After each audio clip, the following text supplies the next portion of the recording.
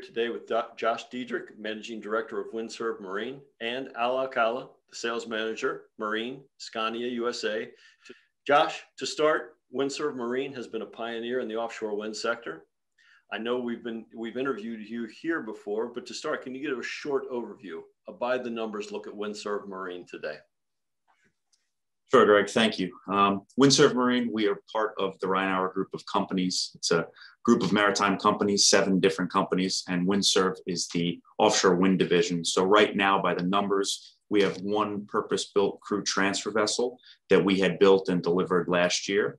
And we have offices in New York, Massachusetts, and Rhode Island, which we are working uh, with our different clients on future build projects. So right now we're really in the development stages of uh, building out our fleet of vessels. And that fleet will consist of uh, CTVs, um, SOVs, and then we'll be able to utilize some of our existing uh, tug and barge assets as well.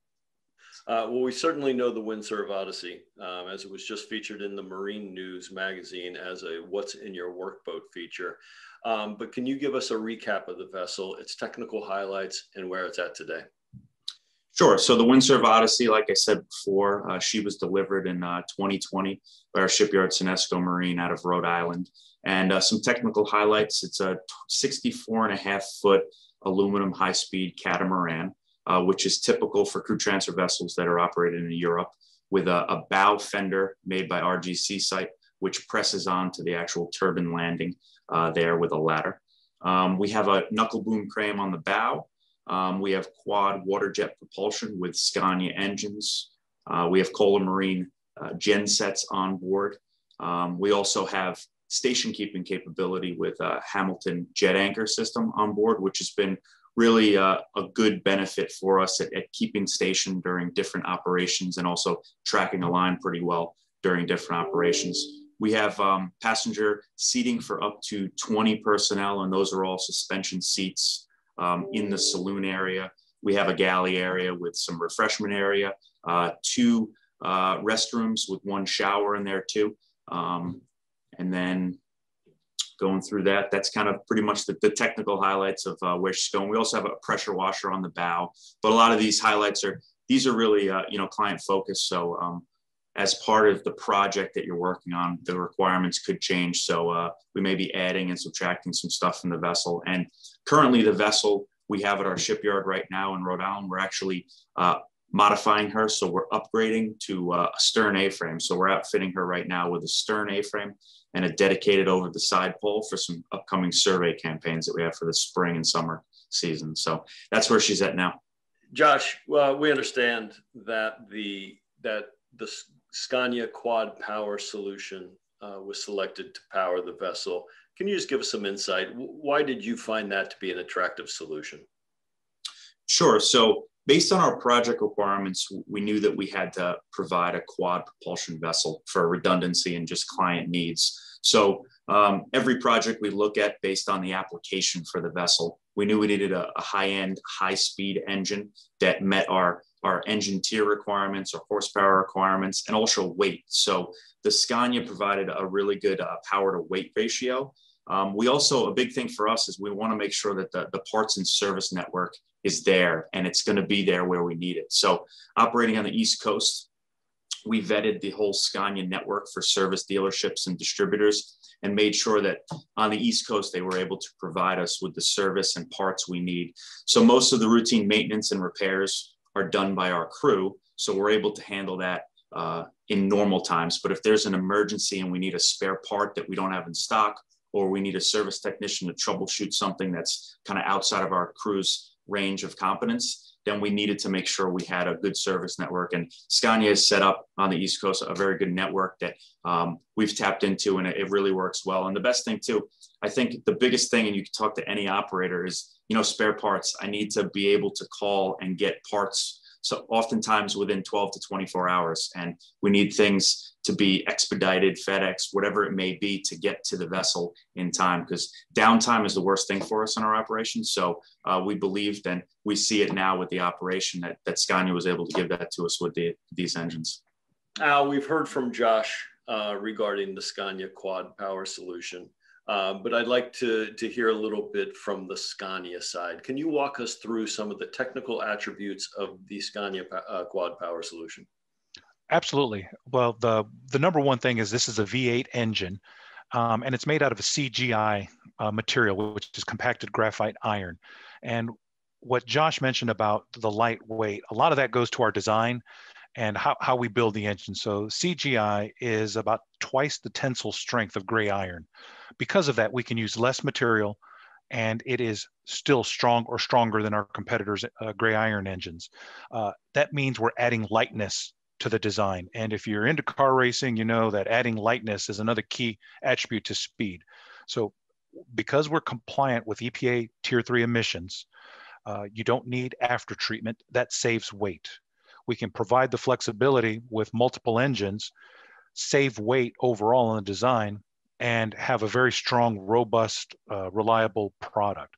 Uh, some of the attributes inside the engine, besides what's on the outside, which is the CGI, are things like our, our standing liners, our saver ring design that help keep oil in the pan, uh, cut down a lot of carbon formation on piston rings lead to longer oil change intervals. So now you got less maintenance, less downtime for maintenance, and uh, you're saving some money.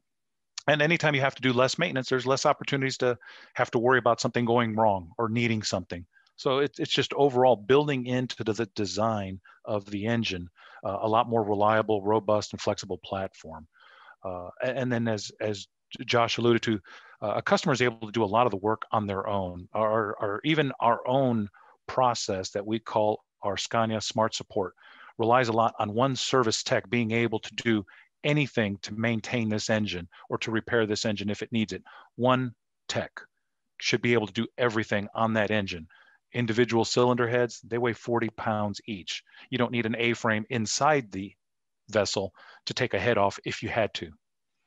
Uh, so there's just a lot of innate features that we build into it. At 800 horsepower, at 3,800 pounds, these engines are very power dense. And when you look specifically at the offshore wind sector, why is the Scania quad power solution attractive? I, think it's because of our experience in offshore wind. So Scania, uh, in the early wind farm days in Europe, had a lot of exposure to this marketplace, and many, many of the first boat designs that were pioneering in this market were powered by Scania. Uh, our power dense design, our lightweight engines really lend themselves to this operation.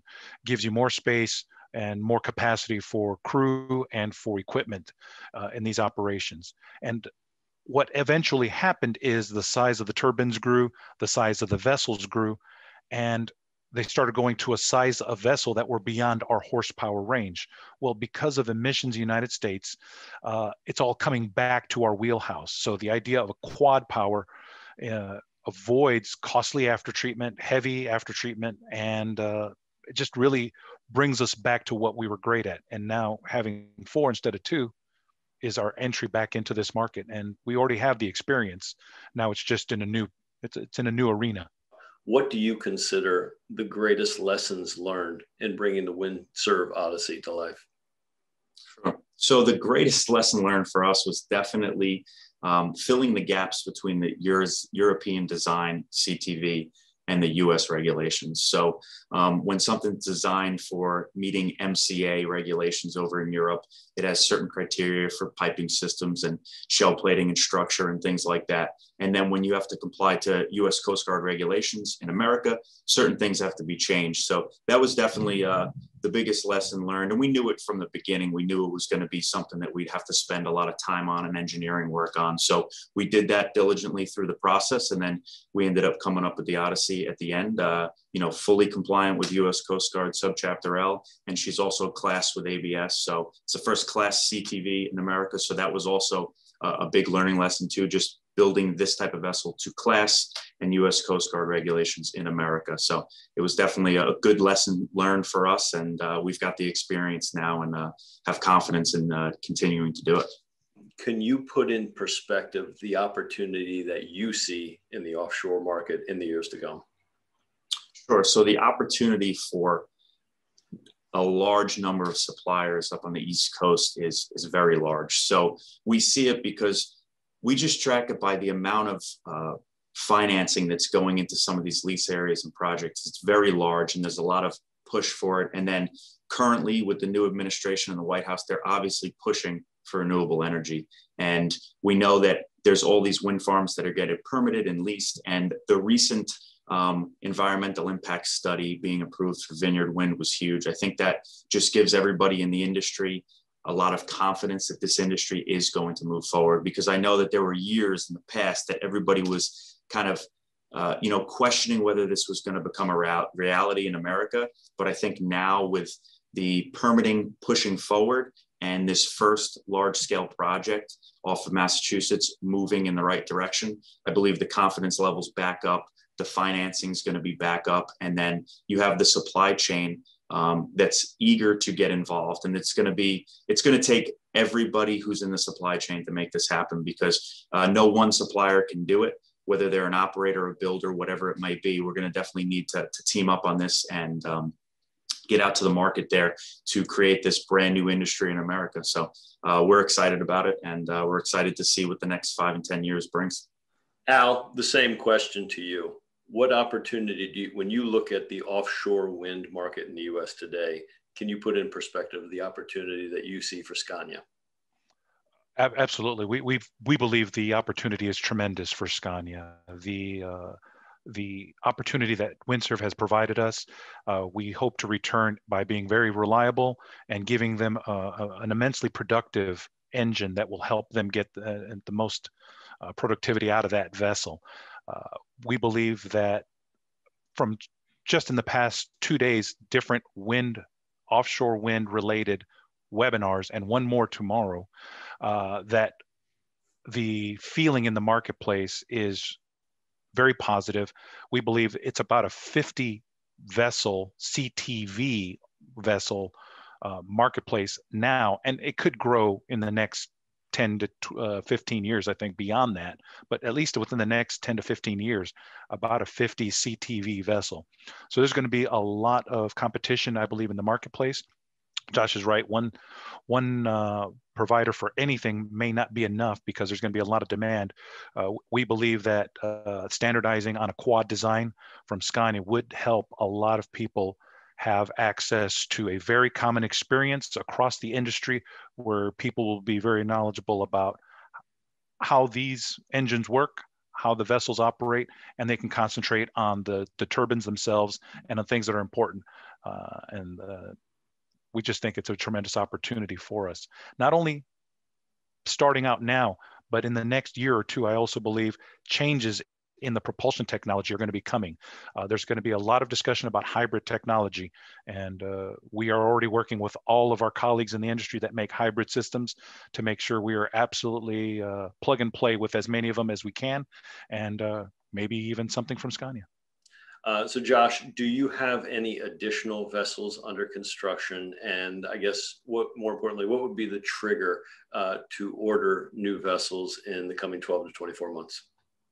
Sure. So we are currently strategically planning right now. We've got a lot of things in the works um, at all of our facilities in New York, Massachusetts, and Rhode Island on, on multiple projects, working with different clients uh, for different projects. And as far as trigger, you know, obviously winning an award would definitely trigger the start of that. But then there's also the the idea of building on speculation, knowing that the market is huge. So I think in the next uh, several months, uh, you know, we're hoping to make some new announcements for sure. But uh, in the meantime, I think it's just a, uh, it's definitely a strategic planning game right now. So we want to make sure we're doing the behind the scenes work now, so that we are ready to go once those awards are uh, awarded.